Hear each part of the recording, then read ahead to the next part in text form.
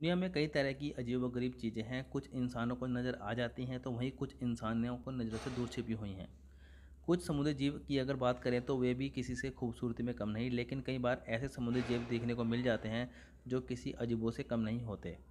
प्रकृति अक्सर हमें चकरा देती है, इसमें बहुत सारे ऐसे तत्व हैं, जिनके बारे में हमें जानकारी नहीं होती। तो वहीं ऐसा ही मामला मलेशिया से सामने आया है, जहाँ एक मछली काफ़ी लोकप्रिय हो रही है।